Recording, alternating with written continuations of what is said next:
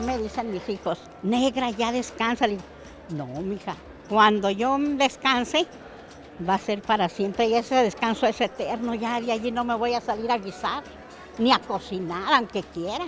El sabor, los aromas, pero sobre todo los consejos culinarios y la alegría de más de 20 amas de casa del municipio de Viesca fue compartido con los laguneros durante la primera expoventa gastronómica y artesanal de Viesca Pueblo Mágico.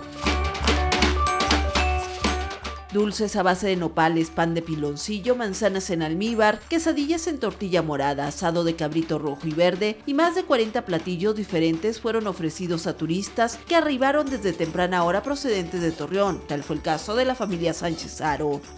Vengan a visitar Viesca, pueblo muy muy tranquilo y aparte de sus diversos, eh, lugares para, eh, para pasar con la familia,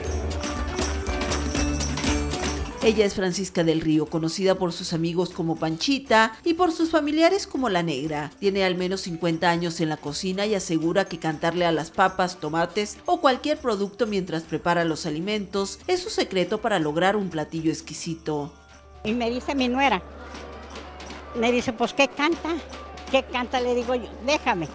Le canta las papas a las... Sí, le digo yo, me gusta cantar. Ella no sabe leer y escribir, pero eso no ha sido impedimento para salir adelante con las ventas y aprovechar así la reactivación económica que ha traído consigo la denominación de pueblo mágico. No sé leer ni escribir, pero para preparar no necesito yo saber escribir. Tengo que mover las manos y la mente. Así como Panchita, un grupo de 50 amas de casa iniciaron este proyecto bajo el objetivo de fortalecer a Viesca como pueblo mágico mediante su cocina, pues el sazón es reforzado con un toque de sabor proveniente de la leña. Para poder hacer estas cazuelas de guiso, tomamos del chivo del marido y se imaginan lo que sería que, que, a la gente o que a la señora se le quede su cazuela que va a comer su familia. Según Elvira McCoy, en esta ocasión más de mil platos fueron ofrecidos por parte de estas mujeres, que logran día a día un sabor único que conquista hasta el paladar más exigente. Pues es que por la panza se conquista todo mundo. Yo tengo la plena seguridad de que toda la gente que vino hoy y probó de estas deliciosas cazuelas, que le quiero decir que todo el grupo de cocineras cocina delicioso.